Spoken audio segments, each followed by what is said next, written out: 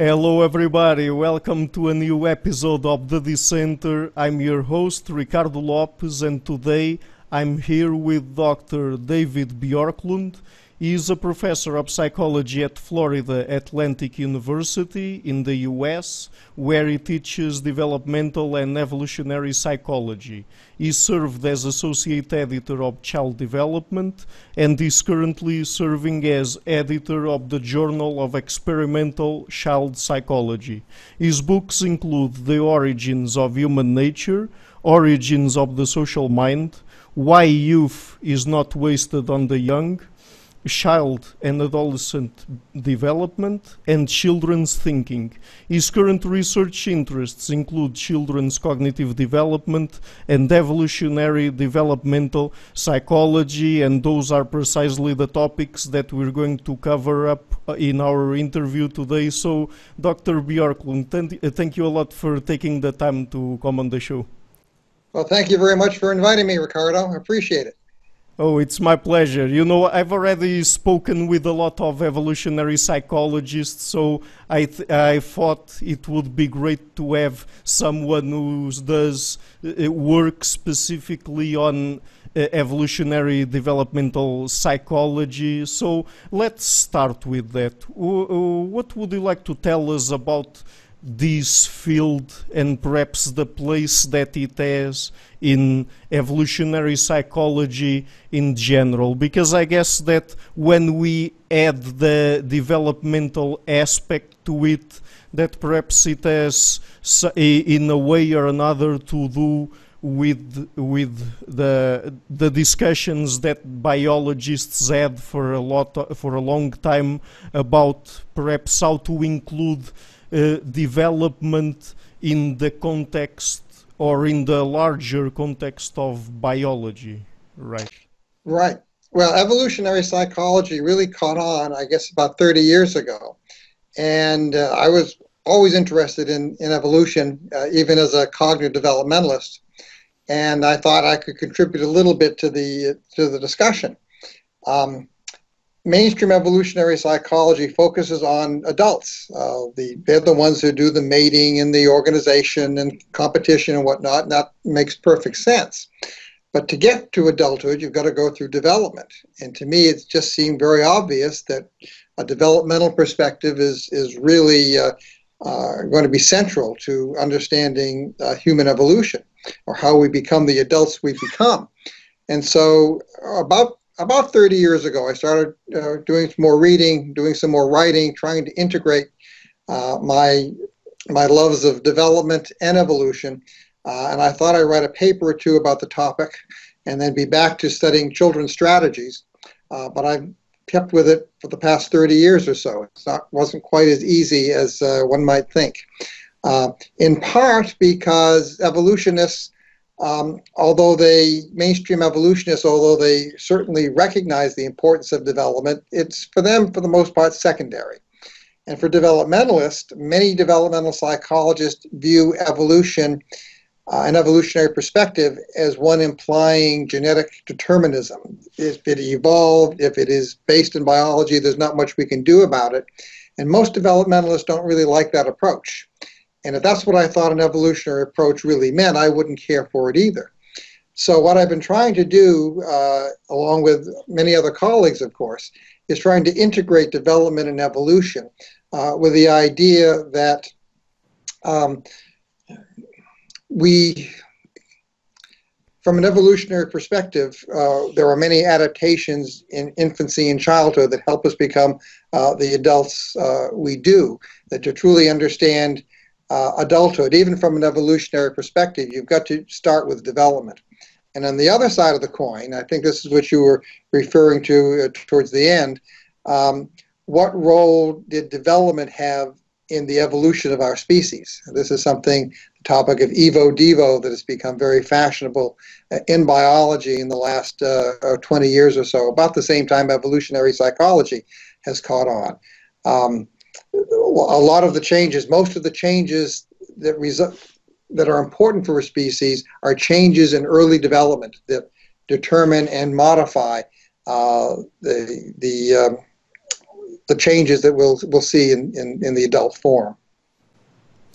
Right, uh, and I guess that perhaps this is a bit contentious, or at least has been a bit contentious for several decades in biology uh, when it comes to perhaps the developmental aspects of organisms, because sometimes people associate them with the influences that come from the environment, and perhaps sometimes it gets pretty close to a Lamarckist perspective, or am I am I wrong? Oh no, I, I think you're quite right. Um, this is uh, Lamarck has gotten a bad reputation, uh, probably a bad rap over the years. He was really quite an influential biologist. Uh, his error was thinking that uh, uh, use of an organ during an animal's lifetime can be passed on to uh, its offspring, and this this just isn't true. so Lamarck was wrong about that. Uh, but we're learning a lot more uh, over the past uh, several decades uh, about the role of experience uh, in in evolution, uh, in development. so, for example, genes, you know, DNA. This is this is what evolved. This is what changes over time. Gene frequency, but genes are always expressed in a context, and that context, that environment uh, can influence which genes get expressed, what combinations of genes get expressed, how often they get expressed, etc. And we're learning now uh, about epigenetics. And we've known about epigenetics for a while, but we're also seeing that the effects of, of um, experience on, epigen- on, on genes uh, can, uh, uh, is, is done through epigenetic markers. We're, we're discovering uh, some of the, the the uh, biochemical mechanisms here. Uh, and how some of these mechanisms um, can be passed on from one generation to the next through behavior, and uh, setting the stage for um, for organisms selecting niches that can uh, alter the, the selective pressures leading to evolutionary changes. So uh, Lamarck might have been wrong in the in the big picture, uh, and, and, the details. But in the big picture, the role that experience may play on gene expression and eventually uh, the formation of phenotypes and then eventually the uh, uh um, modification over, of, of, species over time, we seem to be recognizing, if not truly a Lamarckian perspective, um, but an epigenetic perspective that is not inconsistent, I would, I would say, with uh, the main tenets of um, uh, of the modern synthesis. Mm-hmm. So, since you referred to epigenetics, let, let's talk a little bit about it. Because, as far as I'm aware, at least at the moment, we have to be a bit careful about how we talk uh, about epigenetics and epigenetic mechanisms and epigenetic effects, at least in humans. Because it seems to me that uh, with the literature that we have nowadays, I mean, there aren't, I guess, a lot of uh, epigenetic mechanisms that are definitively proven to exist in humans, right? Well, if you're talking about uh, epigenetic inheritance, you're, you're, you're right. Uh, the field of epigenetics in, in medicine, for example, is, is really exploding. So we know a lot about epigenetic effects. Uh, we know how early experience can affect the epigenome, so to speak, and, and have consequences uh, years and decades later. Um, what's really controversial are can some of these effects be passed on to the next generation? There's some suggestion that maybe they can in some organisms uh, under some conditions. We don't know how long they'll, they'll last. Uh, the, it's an exciting area, exciting time I think, to uh, to be an evolutionary biologist or an evolutionary devel- developmental psychologist, because we're finding some insights into um, uh, sort of biochemical mechanisms uh, for uh, expressing change that, that may have consequences uh, on evolution. But yes, uh, we must be cautious. particularly in humans, the, the evidence is um, is not very firm. Um, but nonetheless, uh, it's uh, the research is exciting, and um, I, I, think in the next uh, next decade or so, we're going to be finding more and more uh, about epigen- about the role of epigenetics in a lot of diseases, in a lot of aspects of behavior, and maybe uh, in evolution itself. Mm-hmm.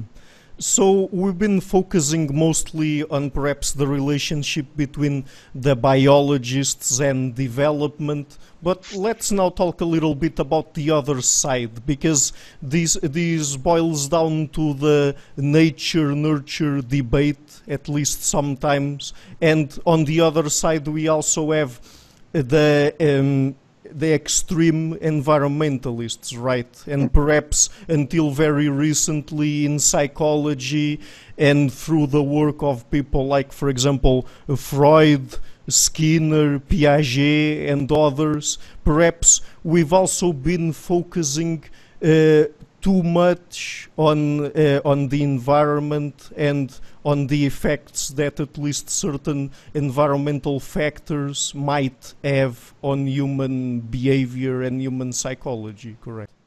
Well, I'm not sure if we've been focusing too much on it. We've just uh, a lot of people have just been ignoring the biological side. Okay. Uh, you know, assuming you've got a, a human nervous system and then everything else is just uh, environment.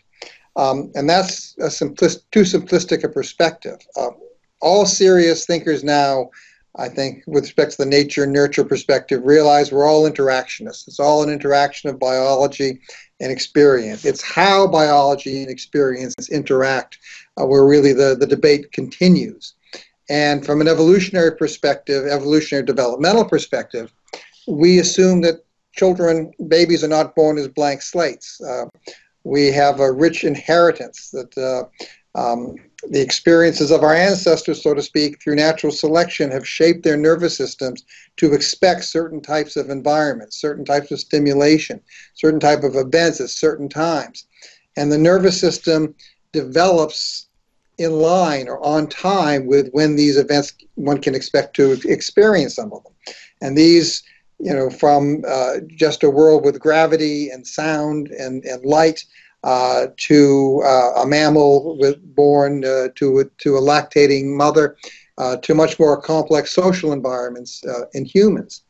but you have to have the right experience. Experience really does shape behavior, does is, is really quite critical to it. but it has to be timed right with, with biological development.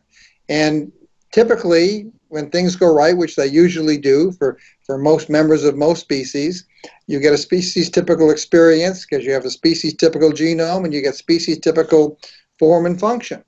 Um, but when either the genes aren't expressed exactly right uh, or experience is uh, deviates from what is typically experienced by members of the species, different patterns of development can emerge. So uh, development is experience is really very important, but it's experience that is head by uh, an organism with an organized genome. Uh, so it's it's not um, a random uh, phenomenon that who knows what kind of experiences you're going to have. Uh, the, um, the the course of development is relatively predictable in a species typical environment.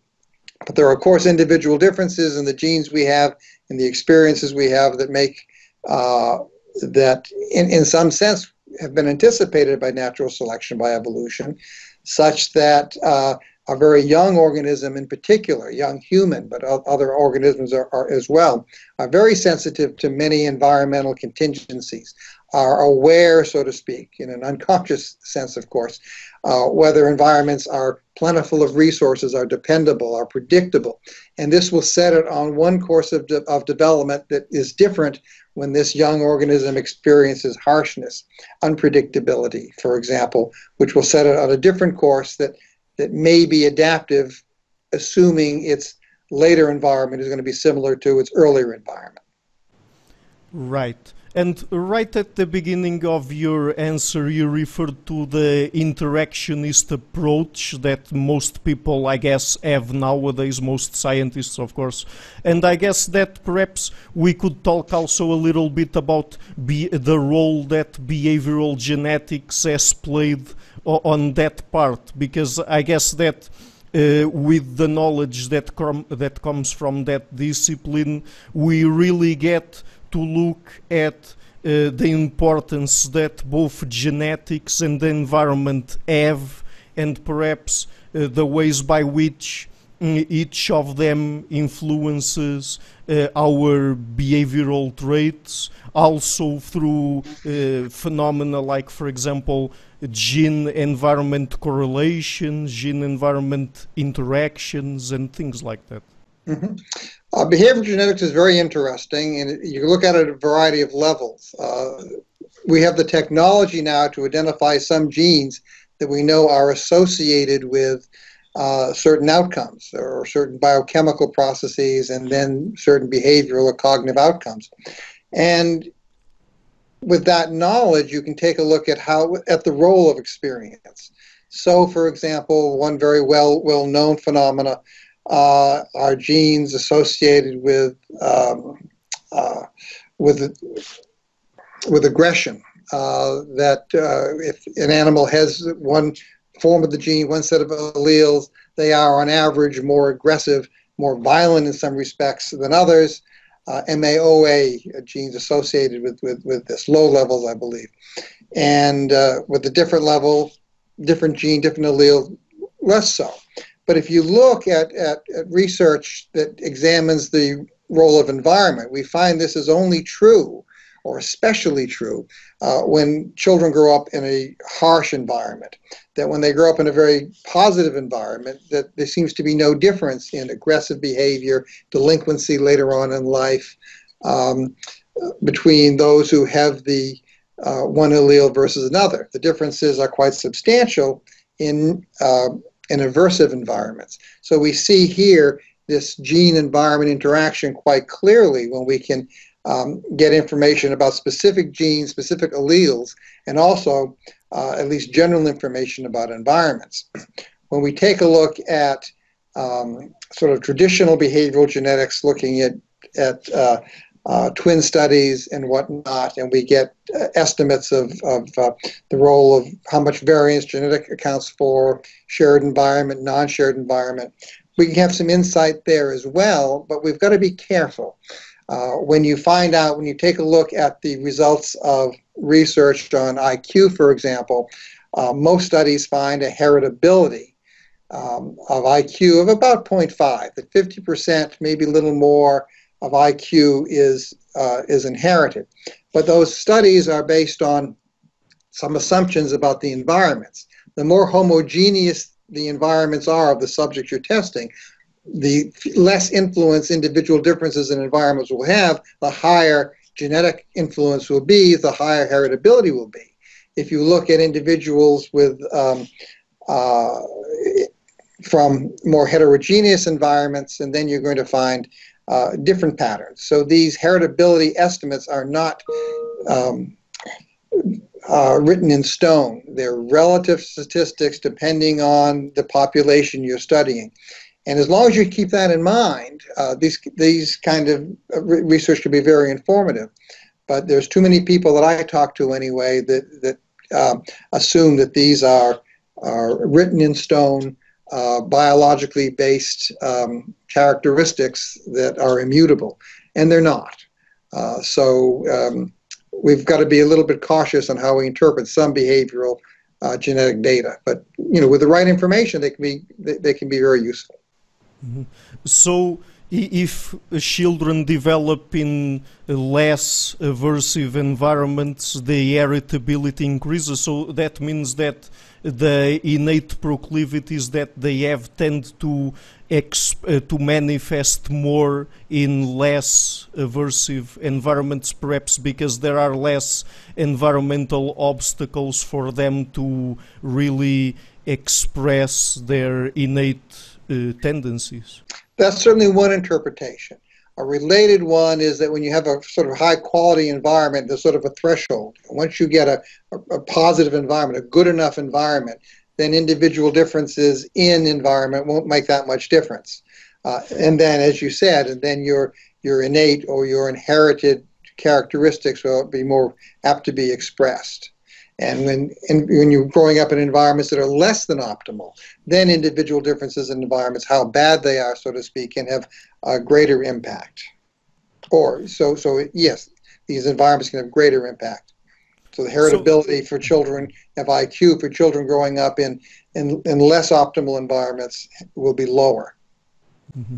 So let's talk about that word, innate, because it seems to me that it's much trickier than it might seem at first sight, at least to most people. Because does it really mean uh, when we talk about innate that a particular behavior is present at birth? And I mean, if it's not present but is part of normal development, uh, can't we also use the word innate? So, wh what is really the best way to think about uh, innateness of behavior? Well, um, innateness and instinct are words that a lot of developmentalists don't like, and I tend to avoid them when I can, in part because when you use the word, you think you know more about a phenomena than you really do. When you say something is innate, do you mean it's in the genes? Do you mean it's present at birth? Do you mean uh, it's characteristic of the species across all sorts of conditions? Um, and it can mean all those things or none of those things, depending on who's using it. Same thing for instincts. When you say something is innate or it's instinctive, you also sort of think you you've come to the end of explanation. Oh, this is biologic, it's innate. Let's now go to something else. Uh, whereas in reality, there's a lot of go- lot going on uh, under the, behind the scenes, so to speak, to produce that kind of behavior. So um, I tend to avoid the use of both terms innate and, and instinct or instinctive, uh, preferring species typical behavior for some behavior that all members of, members of the species display, at least under most conditions, um, and realizing that when something is um, species typical. When all members of the species display it, or just about all members, at just about the same sequence, there's still a lot of explaining to do on how it got there. And if you say it's innate, it just cuts off discussion. Uh, then you go on to something else. Then what do you do with that behavior? Which is interesting, maybe important, but um, it doesn't. It makes you think you know more about the phenomena than you actually do. So developmentalists in particular, because we take a look, we are very interested in how things change over time, beginning at conception, um, uh, tend to avoid, uh, many of us anyway, tend to uh, avoid the terms. Mm-hmm. Mm-hmm.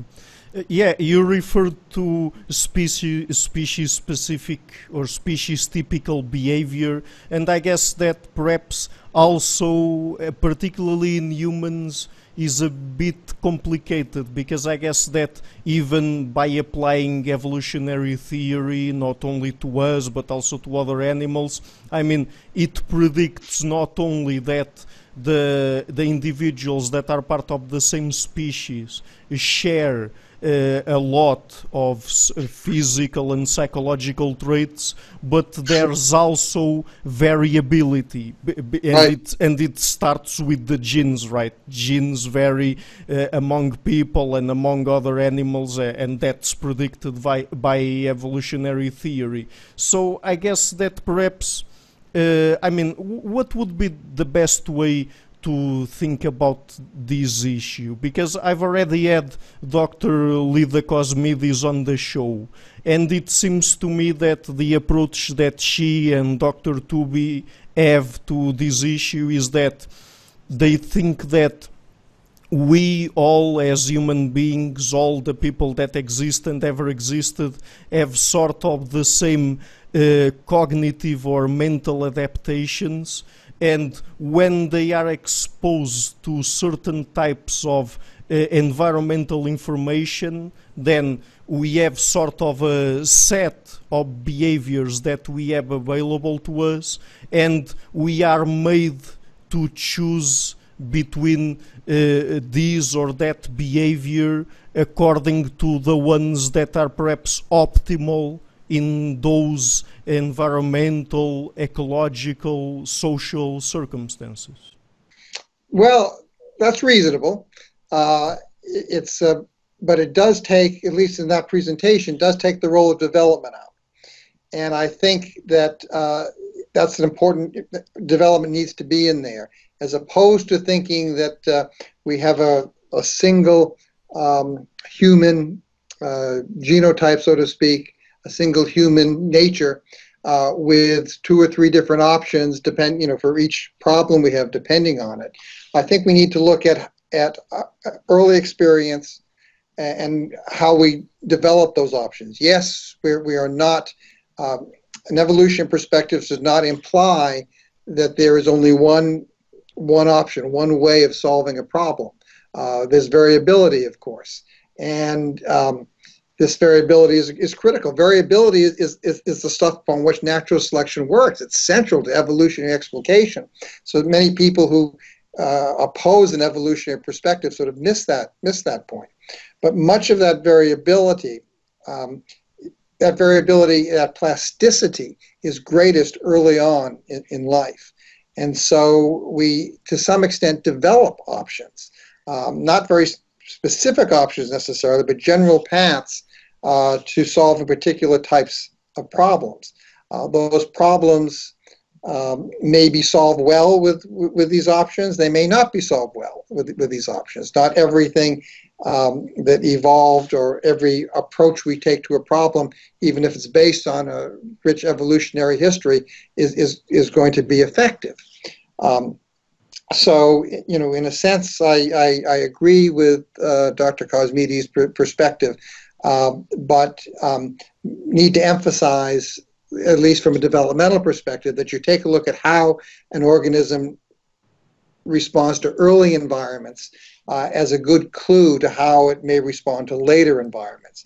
That its behavior, its cognition is shaped uh, by early experience. And natural selection has evolved so that is that to be true. Uh, plasticity is an evolved characteristic of Homo sapiens, of all species for that matter, but maybe especially of Homo sapiens, particularly for our cognitive and social cognitive abilities. And when you refer to behavioral plasticity do you, or flexibility, do you mean that uh, when we are exposed to different information that comes from different environments that we tend to uh, develop certain types of behavior or that perhaps we have certain types of cognitive mechanisms or cognitive tools like for example language and things that come from culture that allow for us to really have that that kind of behavioral flexibility well, both. I want it both ways here. There are some mechanisms, many mechanisms, of course, uh, where there is great plasticity early on, but only early on. Language is a good example. Uh, we, our, our system, we evolved uh, to learn language, and we can learn any of the 6,000 current languages spoken on Earth now, plus others that have been spoken and others that may be spoken early on. Um, and children's acquisition of language is truly amazing to, to watch how, and how such a brief period of time uh, you have uh, children going from making just sounds uh, that uh, to becoming linguistic geniuses.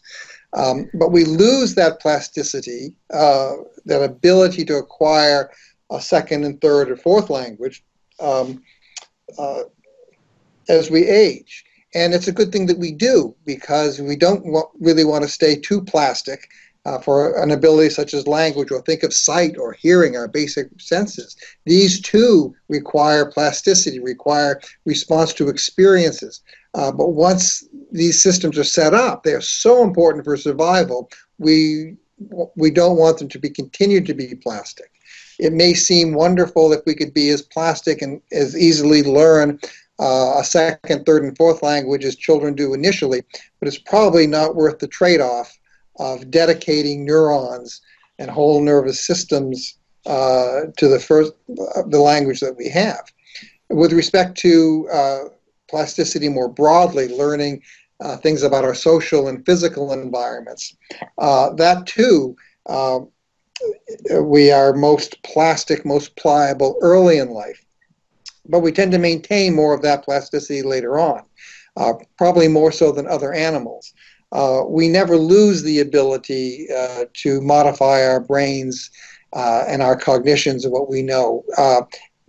it gets lessened you know, I'm, my brain is not quite as pliable and plastic as it was uh, when I was much younger. I realize that. Uh, but I'm still capable of learning. Uh, you can teach old dogs new tricks. Uh, we retain our plasticity. This is a characteristic of youth that we maintain into adulthood, into old adulthood for that matter. Uh, other species do as well, but not to the extent that, that humans do. Uh, we are a youthful species to the extent that our brain plasticity is more characteristic, uh, and our brain development is more characteristic uh, of of our juveniles than it is of the adults of, of other species anyway. Okay, so just going back to the aspect about innate and the innateness of behavior, uh, I mean, would it be fair to call something innate if we have uh, sort of a set of criteria, like for example, if it is a human universal and we find it in all cultures or in all studied cultures around the world, and particularly if it occurs in children across cultures, if, for example, when children go through their development, they go through the same or roughly the same stages in terms of acquiring cognitive tools and cognitive capacities, and also if perhaps some of them at least are present in early stages of development and also if we find them in species that are evolutionarily close to us, that is, species that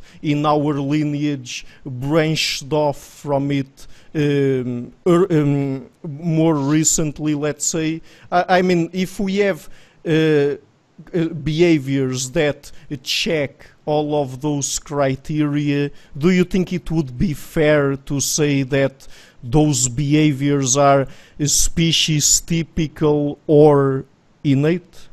Certainly species typical. Okay. Uh, certainly uh, strongly under biological maturational influences. But even something like maturation uh, has gets feedback from the environment. Uh, so um, I still prefer avoiding the term innate, although what you've described uh, I can understand people use, using that using that term. And this is something that uh, evolutionary psychologists and of course biologists of course look for. We look for commonalities across species. Darwin was one of the first, probably the first, to suggest that mental abilities also evolve. Uh, we look for features in chimpanzees and bonobos, our close genetic relatives, uh, that may be like ours or ours or different from ours. And when we see the similarities and differences, we ask what kind of pressures might have there been on our, our ancestors to modify this kind of um, the cognition that we have now. Uh, so yes, these are strongly influenced by uh, by biology. They are strongly species typical, um, and they are the types of things that a lot of people would be comfortable using the word innate with. I still get just a little shaky when I hear it because I still think it's it implies more than people really intended to intended to to apply imply. Well, perhaps because then we could, at least in some way, associate it with uh, sort of genetic determinism or I, something I like think that. That's, that's that's part of it. I think that's part of my discomfort with it. That although if something is to be innate, it doesn't have to be implied genetic determinism. It seems to. And uh, once you you go down that road, uh, it's sometimes hard to come back. Um, genes are involved in everything, uh, but so is experience. Uh, and experience broadly defined. You know, so the the chemicals in the cytoplasm of a cell uh, around a nucleus are part of the environment uh, of genes, and so these affect the gene expression. Um, so uh, if you if by innate you you do imply genetic determinism, uh, it oversells the, the role of biology. Biology is very important. I mean, as an evolutionist, I've got to think biology is, is, is very important. And if anything, I, I, I get criticized for having too much an emphasis on biology uh, and not enough on experience. Um, but it's not an either or case. We always have to look at the interaction or transaction uh, between biologically based phenomena and experientially based phenomena. And that goes down to the level of gene expression. Mm-hmm.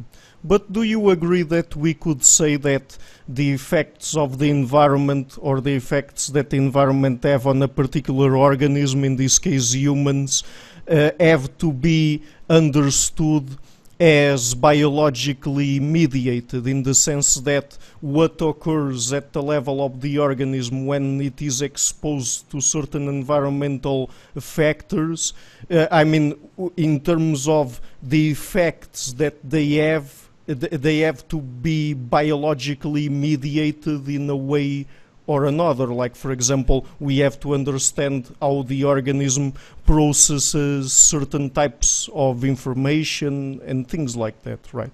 Oh, clearly. Uh, I mean, in one sense, almost everything is biologically mediated.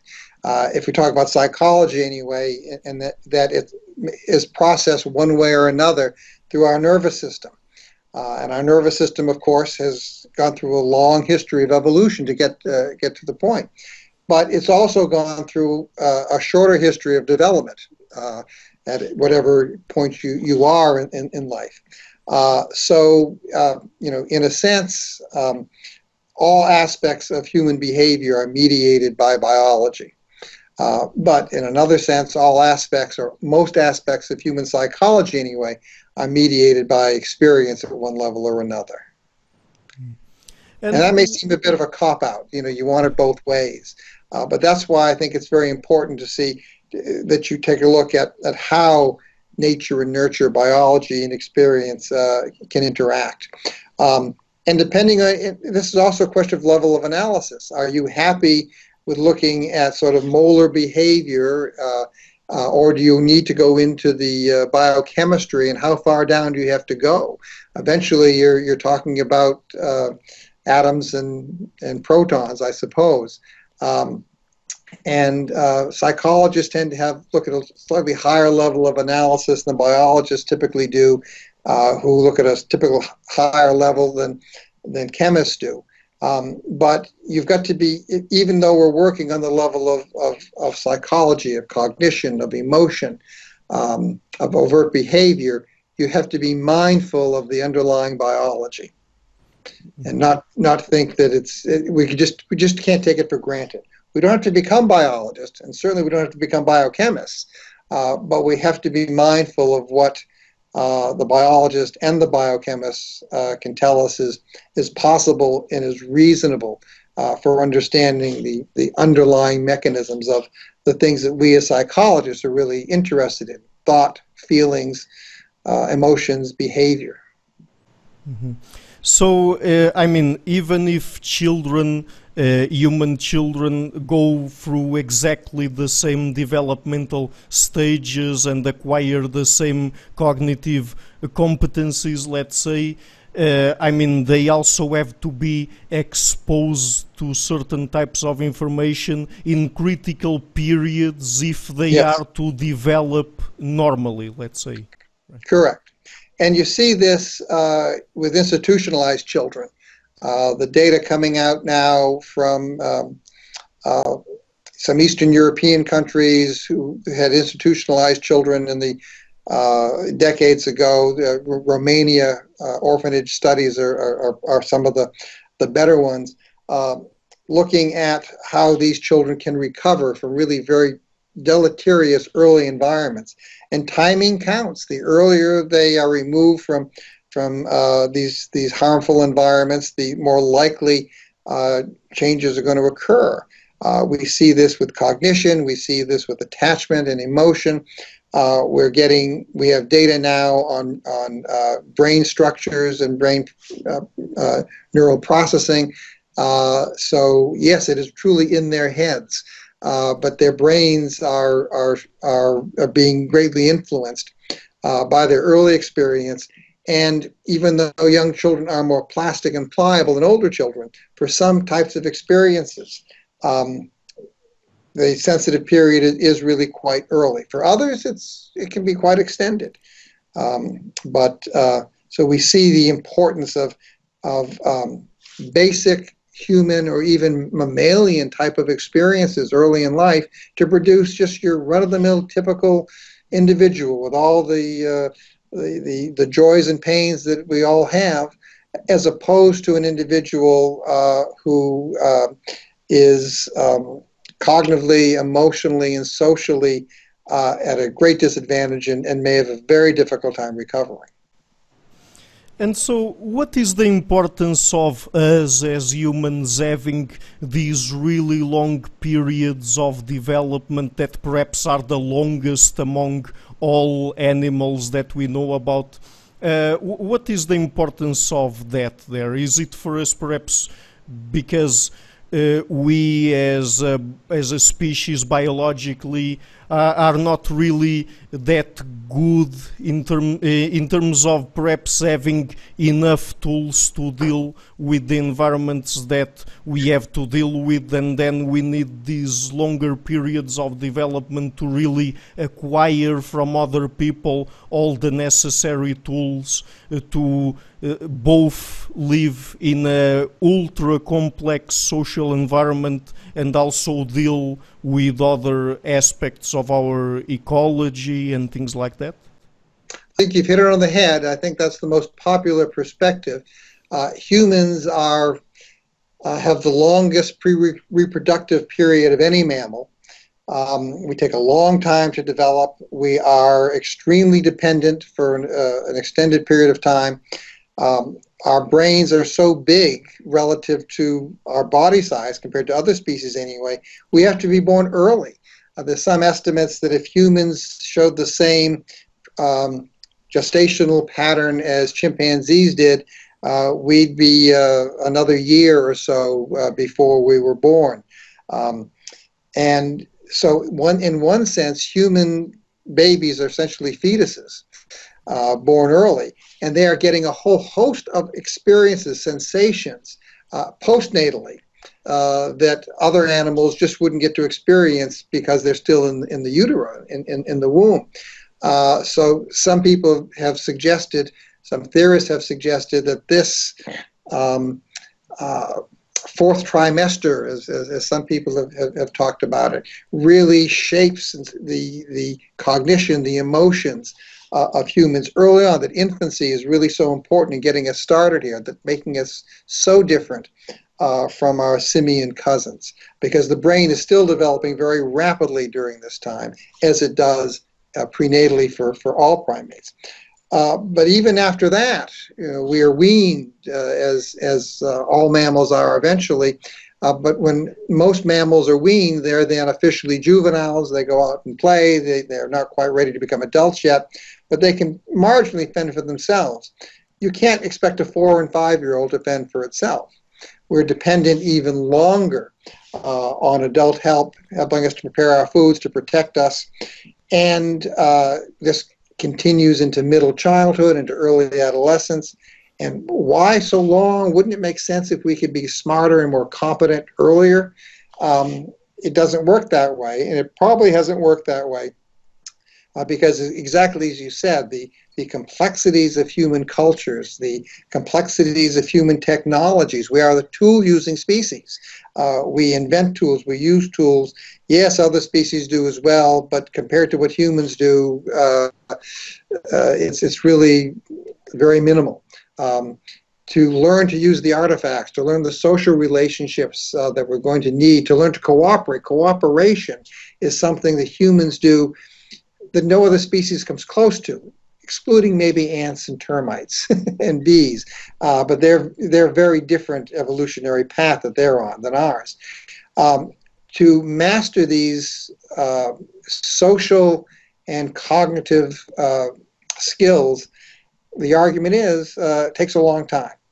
Uh, and thus, uh, it, it was quite a risk for our ancestors to spend so much time as pre-reproductives because children die. Uh, the death rate among hunter-gatherers and presumably among our ancestors probably is 50% by the time uh, you've got uh, 10, 12 years of age, 25% uh, in infancy. Uh, there's a great risk of dying before reproducing.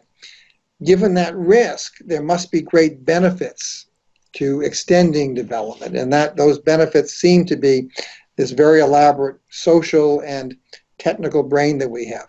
My own bias is on the social side. I think uh, uh, we became the the intelligent uh, species and successful species we have because of our social intelligence, our ability to cooperate with with, with one another uh, to achieve things that individuals themselves just couldn't achieve. Yeah, and I guess that this is where we get into how important it is for us as a species to have certain uh, capacities, like, for example, our ability to learn, that is perhaps also the biggest among all the species, our, our ability to imitate, because children from early ages uh, as as some people say, they over imitate adults, even in comparison with, like, for example, chimpanzees. That mm -hmm. they don't tend to imitate some redundant steps, uh, right? That, that, adults make, and also our uh, developed theory of minds, because. Uh, theory of mind because I, I mean it's really crucial for us to be able to think about what might be going on in other people's minds in order to be able to more or less predict their behavior and also to establish good cooperative relationships with them. And then also it, it is crucial the aspect of play in humans because it really allows for us to acquire some of the social and uh, physical skills that we need, and particularly that we also need during most of our evolutionary history. Correct. I think you, you've hit it all on the head, the nail on the head there. Um, starting with learning and, and imitation, uh, there are a lot, lots of data out there and, and theories, of course, uh, as to the human's really propensity to learn, but mainly through social means. Imitation is, is clearly important. Uh, we're not the only social animal, other animals learn socially as well, uh, but chimpanzees, for example, seem to do little true imitation, imitating the goal and the the means to achieve that goal uh, that humans do. And, and we're much better at, at, this type of, of learning. And as you mentioned, over imitation, uh, a chimpanzee, in a way, is more efficient. He watches uh, an adult or, or, model do something, and there's some irrelevant actions there. They'll just skip those and go to the things that really count to get the reward. That, that only makes sense.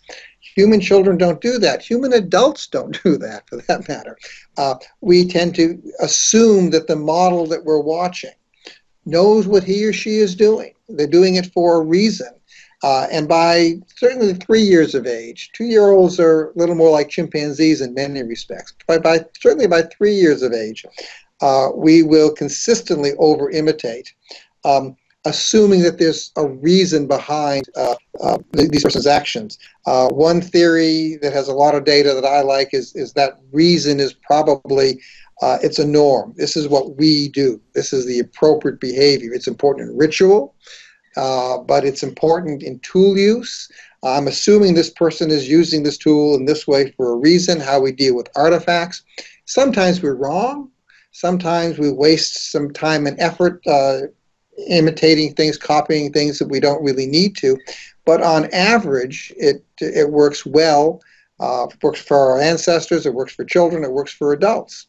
Uh, we're flexible enough to modify our behavior when uh, something we've imitated uh, turns out not to be necessary. We can eventually learn to over, overcome this. But the advantage of over imitating is that more often than not, we're going to acquire important behaviors. And it's a way of identifying with the model. Uh, it's, a, it's a form of social conformity, if you will, uh, which gets back to our social nature, um, which uh, is, again, I think, central to what it means to be human. And when you're talking about theory of mind, which develops over the course of, of, of the preschool years, we get better at it, you know, as we get a bit older. Uh, this is also clearly critical to to um, uh, our social nature, to interacting with others, uh, to realize that what I do is based on what I know and what I want, and what you do is based on what you know and what you want. This gives us some insight into dealing with other other beings. We don't just have to look at their behavior, but we can infer what they're what they're thinking. Um, we can use this, we do use this uh, to cooperate with one another, to teach one another. The role of a teacher has to understand, as a teacher has to understand what his students may or may not know. The student has to understand what the, te- the teacher is trying to convey something uh, that, that they, the students, don't know to them. Um, and uh, this is uh, critical in acquiring um, much of the information, uh, social information that, that humans need to acquire, as well as technical information.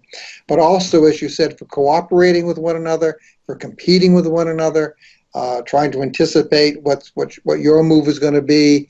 Uh, you want that cookie, I want that cookie. How, you know, uh, what's the best way of achieving my goal?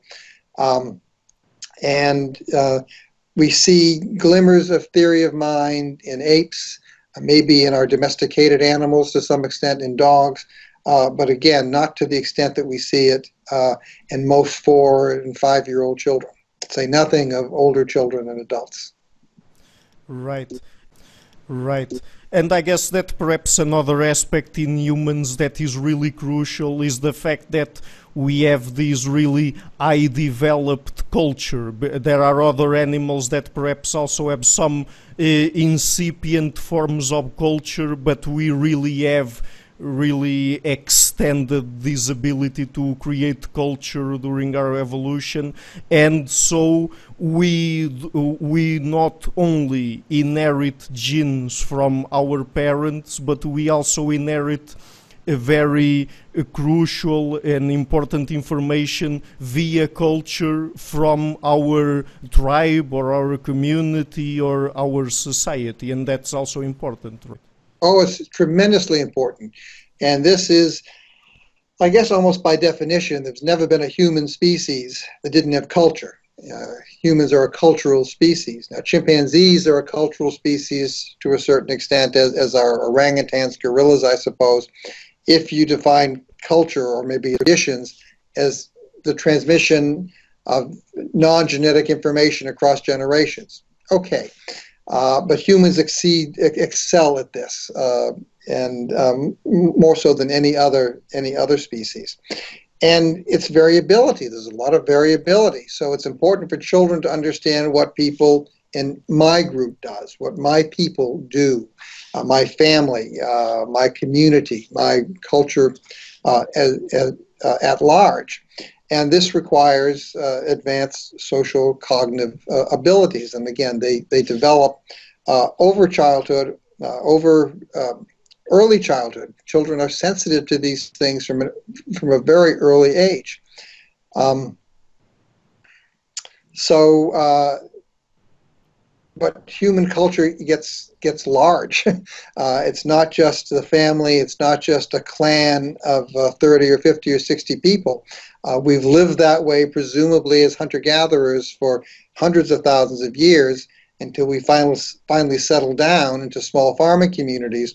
But we've also evolved the cognitive abilities to deal with people in very large numbers. Uh, and how can we do this? How can we deal with people that we've never met before that we don't know? How can we know something about them? Well, there are plenty of clues uh, that, that, that, we have, um, and that is that we share some forms of culture with them. We share a language with them. We share the way we dress with them. We share certain types of greetings with them. Uh, this, is, this was a function of religion. We share religious beliefs. I don't know exactly uh, if you're a good guy or not, if I should trust you or not, but you tithe, you give 10% to your religious organization, you bow down to the east five times a day as I do, okay, it's a good sign that maybe uh, we share some. Um, we're able to deal to form very large, complex uh, organizations, if you will, um, in part uh, because we share uh, aspects of culture that we can recognize um, and say, okay, you know, you're you're one of us. I'm one of you. Right. And this is a relatively late developing ability, it seems. Mm-hmm. And I mean, earlier we talked about innateness, but what would you have to say about perhaps us having what some people call implicit knowledge? Like, for example, uh, I've already had on the show Dr. David. Geary, and we talked about theory of mind and folk biology and folk physics and things like that. So it seems that even if we are not born with explicit knowledge, that we are born at least with a sort of implicit knowledge in, in a sense that we expect to deal with certain environments and certain aspects of the environment. Yes, I like very much uh, David Geary's approach to, to, to, this that we are born as infants or develop very early what he calls skeletal abilities, skeletal prop, uh, properties. These are implicit, they're, they're not available to consciousness. In fact, you could argue that newborns and infants don't really have consciousness, don't have explicit cognition. Um, but these implicit cognitions, these skeletal cognitions, they they act on the environment or the environment acts on them and they get more they get enriched uh, they get more fully developed. They acquire information, if you will. They remain at an implicit level. Uh, we need experience to, to, to flesh them out, of course. Uh, we're not born with these fully formed notions of, of what the uh, physical or social or biological world is like, but with, with, with glimpses of them. Uh, some people call core knowledge. Um, but experience helps us flesh them out, uh, expand them. These still remain implicit, and we do much of our, much of our decision making is based on these implicit types of cognitions um, that have their basis in, in biology, that, that have an early developmental form uh, that gets expanded, fleshed out as, as Geary talks about it, uh, you know, through through experience. Um, one of the things that attracted me to evolutionary psychology years ago was that at the core of evolutionary psychology were these cognitive mechanisms, the evolved, evolved cognitive mechanisms. Um, and they were implicit in nature. They could become explicit, but they were implicit in nature. Thus, we can use the same types of rules and logic that we use with other species, apply them to humans. But we have these uh, these implicit cognitions. Um, so uh, yes, these develop uh, over time as a result of experience. We humans may be the only species or one of a very few species that can make some of these um, cognitions or aspects of them explicit, become consciously aware of them. Um, and uh, a number of theorists have talked about, you know, some kind of central executive mechanism. Uh, Mithen, uh, in, in his book uh, some 20 years ago, sort of sort of brought brought this up. Uh, this brings us to the issue of consciousness, of self-awareness. Uh, that we may be the only species that can really is truly self-aware of, of what we think and what we know, and can modify our behavior and our cognition as a result of it. Um, what has consciousness provided uh, for the species? Is this what makes us the highly social species that we are? I think to some large extent it is. I think you need this self awareness uh, for elaborate theory of mind, which is why chimps just show very little of it. Um, it doesn't mean those implicit cognitions go away that they are unimportant. They still influence our behaviors. They are the intuitions that we all have, our implicit cognitions. But we have, in addition, these explicit cognitions, this consciousness, uh, this self awareness. Um, that I think is vitally important in our social relationships, social interactions, but also in our non social uh, thoughts as well. Mm-hmm. Yeah, but I guess that perhaps we have sort of a problem here because we have evolved to deal with certain types of information and certain types of environments, and we are born expecting to deal with those kinds of environments we evolved in, but uh, particularly through culture, we are also able to create our own environments. The thing is, is that sometimes that can lead to what evolutionary psychologists call evolutionary mismatch, and that might be a problem, at least sometimes, right? Oh, it sometimes, oh, sometimes is. Maybe, maybe it, it, it, it frequently is. Uh, we, didn't we didn't evolve to be uh, communicating with people uh, 6,000 miles uh, across a, a, large ocean, you know, spontaneously. Uh, but we're doing it, and we don't, neither one of us seem really amazed by it. We're, we're, functioning quite well uh, with it.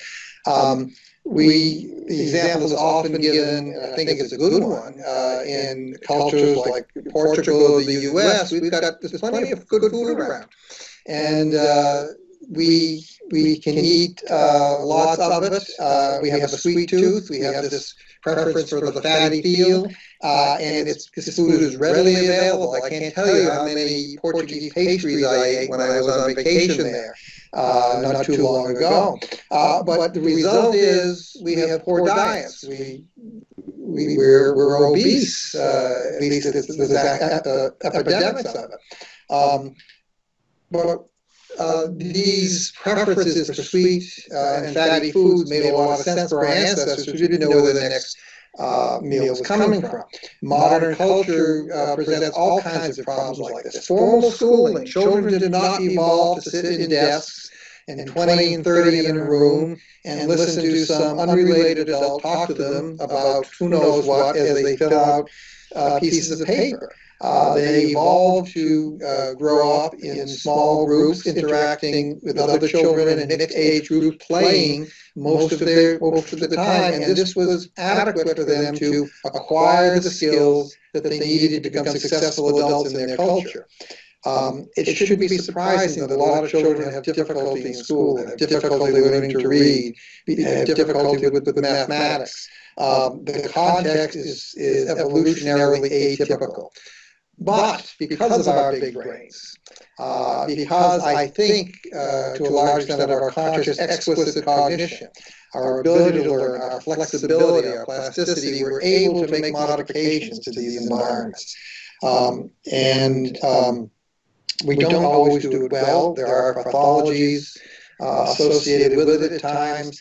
Uh, we uh, experience uh, great stress uh, in dealing with, with many aspects that uh, just wouldn't occur, wouldn't happen in hunter-gatherer cultures. Um, so uh, culture plays a huge role. Uh, culture evolved uh, with our biology. They evolved together. Culture is changing at a much faster rate than our biology is. And we're having, sometimes we have a tough time keeping up and uh, some individuals have a tougher time keeping up than others. These are usually individuals without the uh, often uh, social uh, resources uh, that are necessary to make modifications to these species atypical environments. Yes, and I guess that perhaps even at the level of uh, psychological disorders, let's call them that, the, these sorts of environments that we have created, particularly these kinds of uh, industrialized, modernized societies, that sometimes they might also take a toll on people's uh, psych- uh, mental health, let's say, because I mean, even with the rise that we've been seeing in things like depression, I mean, it's not difficult for me at least to imagine, even though it has, of course, a genetic component, that the fact that we live in environments where uh, our communities very easily get uh, fragmented over time because we leave our families and we leave the communities we uh, lived in during our early infancy and adolescence and things like that and move to big cities where most people are anonymous and sometimes people also uh, find it difficult to uh, find new friends and to create new acquaintances and things like that. So I, am uh, to create new connections. I, I, guess that perhaps also some of these problems might stem from the fact that we have sort of developed uh, environments that are much better in some aspects, but in others are is um, significantly different from our human nature, let's say? Uh, I think uh, it's uh, precisely so. Um, again, in many Western cultures, anyway, as you say, we, we leave home, we move to the big cities. Uh, we're seeing this in Eastern cultures as well, where family tends to be a little more typically uh, emphasized. Um, and we're seeing uh, problems such as depression and anxiety in part because of it. Um, we're used to our species was used to growing up with members uh, that they, they were children they've become adults with uh, a core group uh, that you uh, you knew well you could learn meet new people of course i mean it wasn't uh, that probably was not that restrictive um, but it's much more complicated uh, today uh, and now we're seeing the effects of social media. In some sense, the social media is solving a problem. So I live far away from my brother. I can give him a call. I can talk to him on Skype. Uh, the fact that we're 1,500 miles away, we can stay in touch. That's nice. That's that's a benefit. But the way uh, young people in, in the U.S., Europe, and Asia, um, across the world, are using social media now, um, it is often a substitute for face to face, person to person interaction. Uh, there is the fear that you're going to be missing something. You've got to always be on. Uh, and the result um, of part of the uh, it is social. That's why we're attracted to it. Uh, but it's artificial social types of relationships um, that we often don't see ourselves as comparing very well to others we see. People tend to present the, their best selves on social media. Uh, how popular am I? How many likes am I getting? There's, of course, cyberbullying.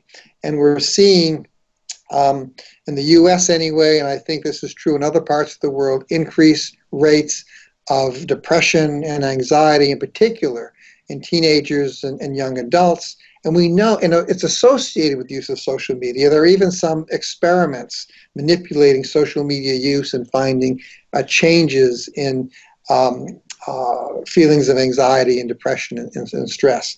So these are uh, humans for the past oh I don't know couple several millennia anyway probably you know since agriculture have been living in slightly species atypical environments and coping. Uh, what's happening nowadays is environments are changing much more rapidly. Uh, and cultural change is occurring at a far more rapid rate than, than biological change could ever keep up. Um, and there are great benefits to it, as you say. There are great benefits to this. Um, but there are costs as well. And one of the things that uh, we as, as, as scientists uh, need to do is try to uncover some of these costs, how we can, and suggest ways of, of how we can minimize them. Mm-hmm. And picking up on that last sentence, just one last question that has to do with the ways we can apply all of this knowledge to education. Because, I mean, we've been referring to children's development, and through, through developmental evolutionary psychology, we can know a little bit more how children think, their cognition, uh, the impact that certain things like, for example, play have on their development. So, do you think that this knowledge can also be applied to perhaps create better educational environments for children, particularly in modernized societies? Oh, I certainly do. Um, you, you, you mentioned play, the importance of play. uh, this is what children are quote meant to do. Uh, this is what they evolve doing this, and they learn well through play. Now, will they learn to read? Will they learn algebra through play? Well, maybe to some extent, uh, but particularly for for young children, um, preschoolers. Uh, I'm, I'm, thinking of learning through play, maybe guided play, um, um, as, as some some theorists have suggested uh, may, be a, may be beneficial, a, a good way of, of, of uh, increasing children's adjustment to school and learning. A lot can be learned through play, particularly in a, if it's guided with, in the sense that there are certain things that children must accomplish and learn to be productive members of modern society.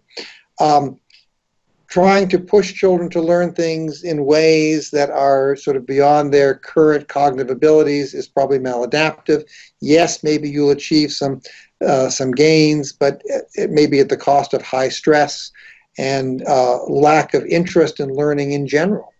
Um, once we get to older children, there's a, a, lot of variability. So there are people like Peter Gray who have proposed uh, learning environments that are truly free uh, that children, you, you have plenty of resources there, and you have uh, adults who are willing to provide any knowledge and ask any questions they want, but you let them go at their own pace and interacting with other children, and they'll acquire the skills that they need, much as hunter gatherers acquire the skills that they need.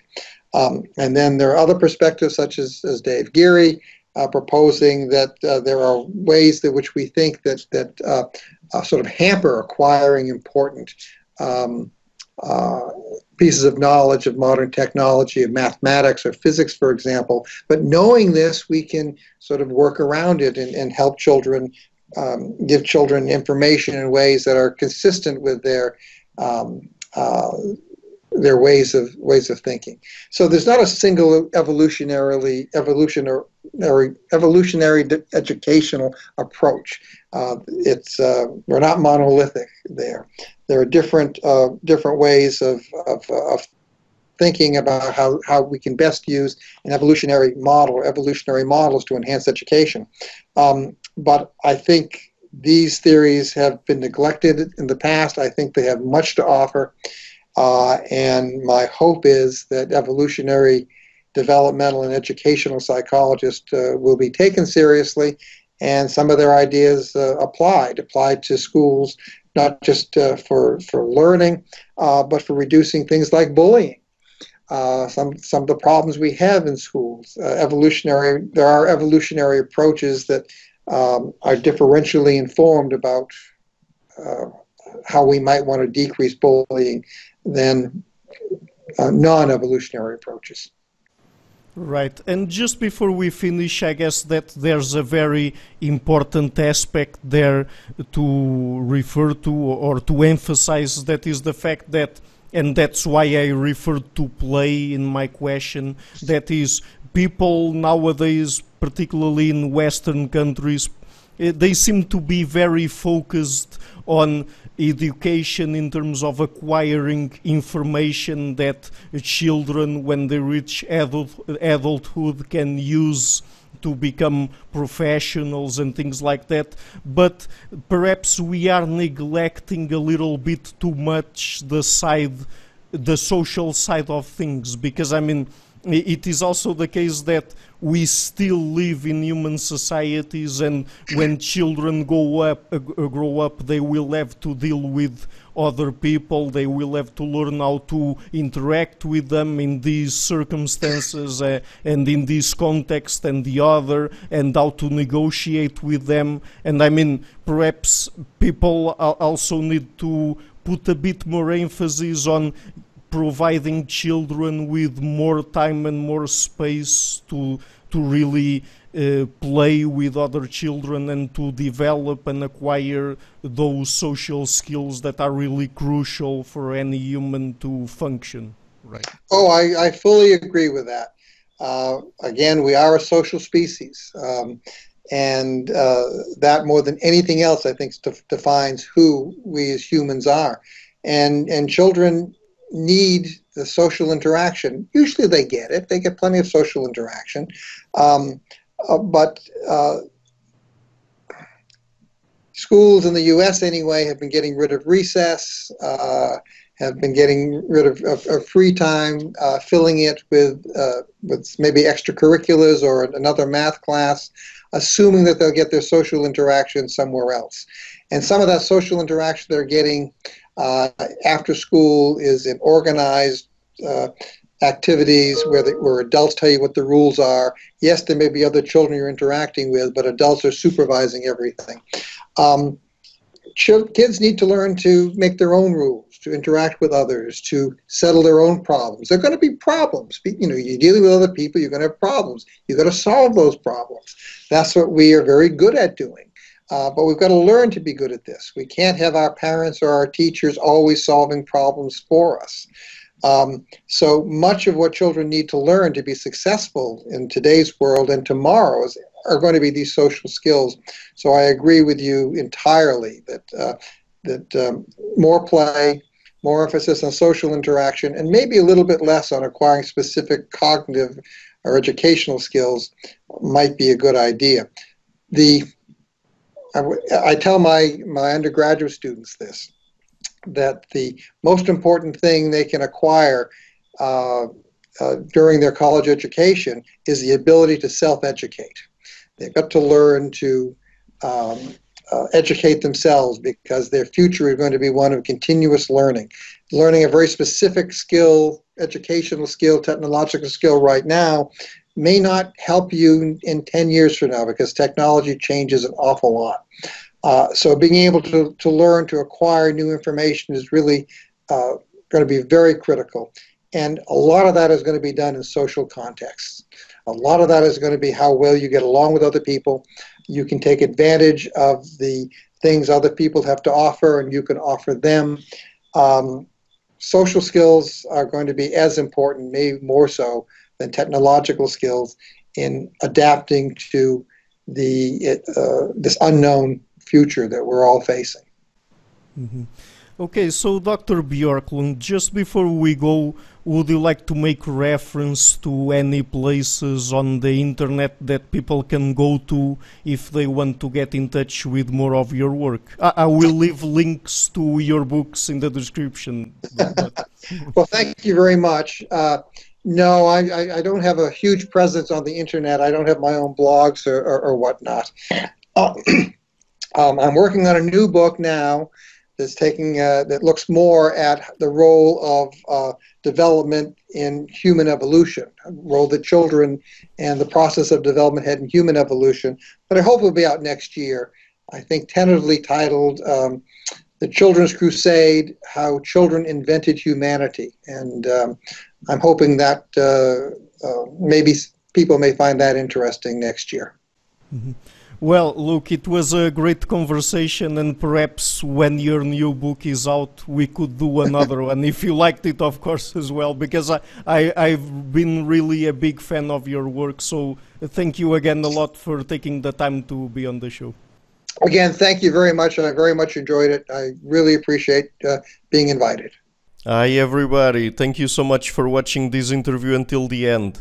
As you might have noticed, I've started this channel in February 2018 and have been putting out regular interviews with academics from a variety of fields. So just to keep the channel sustainable, I would like to ask you to please visit my Patreon page and to consider making a pledge there. If you don't like Patreon, you can also do it via PayPal and Subscribestar. Yeah, all of the links will be in the description box. Otherwise, and if you like what I'm doing, please share it, leave a like and hit the subscription button. I would also like to give a huge thank you to my Patreons and PayPal supporters, Karin Lietzcke, Ann Blanchette, Perel Galarson, Lau Guerreiro, Chantel Gelina, Jim Frank, Francis Ford, Hans Frederick Sunda, Brian Rivera, Lucas Stafiniak, Sergiu Codreanu, Jana Eninen, and my first producer, Izar Weber. Thank you for all.